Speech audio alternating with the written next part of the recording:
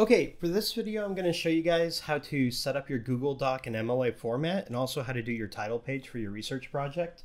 Um, I just figured out how to make my cursor big and pink, so I hope everyone can see that. Uh, so here I am starting with a blank Google Doc. I just opened it.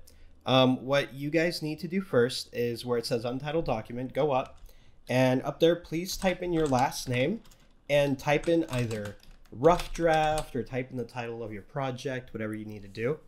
Um, I want your name up there just so we don't lose it and I can easily search it in my email. Okay, so first things first. Uh, for this paper, we're going to set everything up so that it's an MLA format. We're going to start with our font. See how uh, Google will always give you Arial at the beginning?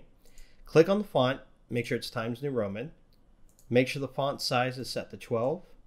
And then you're going to go to this little box here with this up and down arrow. You're going to click that and set it to double spacing. And then that's pretty much it. There are two little things we have to do left. And then we can go on and start making our title page. Uh, first thing I want you to do is go to the File option up at the top menu, and then go down to Page Setup, and make sure all your margins say 1 right here.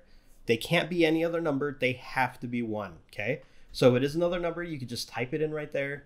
Um, make sure they all say 1. If that's okay, hit OK. And then we're going to do one more thing. Go to the Insert tab. This is for your header.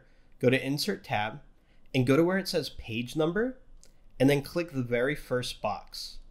When you click it, it's going to automatically put a page number at the top of your document and move the cursor to the front, type in your last name, and hit the spacebar button. Uh, when you do that, every time you type a new page, it's automatically going to fill this in for you. When you are done with that, click outside the box, and then your paper is set up and ready to go. So, um, the first thing we're going to do is make a title page. I know this is kind of a throwaway thing, but it's MLA. It doesn't count to your page count. All right, but it's very easy. So the first thing you're going to do is you're just going to hit the enter key. Just keep it simple. Hit the enter key until you get to the, about the middle of the paper. That's usually around the four mark here on the ruler. Then once you hit it to there, go up and click the center align button.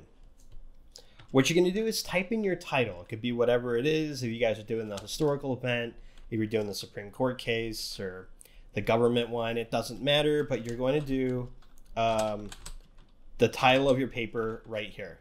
Okay? And I know it looks super plain. It's only 12 point font, but that's the way it is. The next thing you're going to do is keep hitting enter again till you get to the bottom of the paper. Okay? When you're at the bottom of the paper, sorry, when you're at the bottom, um, you're going to type in the MLA headings, right? So the first thing is your name, then your teacher's name, okay? Then your class, you can just type in your period, all right? And then finally, you want to type in the day it's due, okay? So mine is due on the 31st of February. Um, everyone has different due dates. So make sure those are all right. When you do that, uh, you're finished for the title page. Now look here. Do you see how already on our next page, um, at the bottom, there's it automatically filled in the header? Okay, so when you actually get to the first page of your rough draft, what you're going to do is you're still in center line. You see how my cursor is right there in the center. Hit backspace once. It'll go to the side.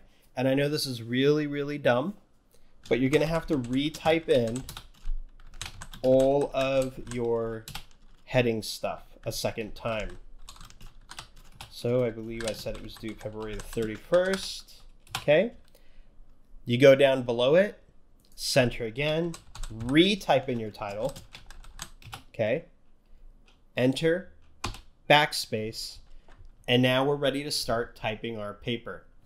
Um, notice how this stuff, if I double click up here, this stuff is not in that box at the top. Okay. It's outside. Do not write it in the box. If it's in the box, it's going to go on every paper. And this stuff can only be on the first page. Okay. So we're back to where we want to start typing. To indent, remember, always hit the tab key one time hit tab once, and then you can start typing. This is my intro in order to indent, I pressed the tab key one time. Blah, blah, blah, blah, blah. And that's how you set up your paper. So however long your paper is, you're going to type that all out. And of course, when you get to your last page, okay, so let's say blah, blah, blah, blah, blah, you did all that stuff, d, d, d, d, d. This is finally my conclusion, okay? What you're gonna do there, once you're done with your conclusion, um, you have this last page now. What all you have to do is your works cited page that you've already churned in to me. Uh, you're gonna copy and paste it for this one. So for your very last page, you have your works cited. Every single one of you, you churned it in. I corrected it for you.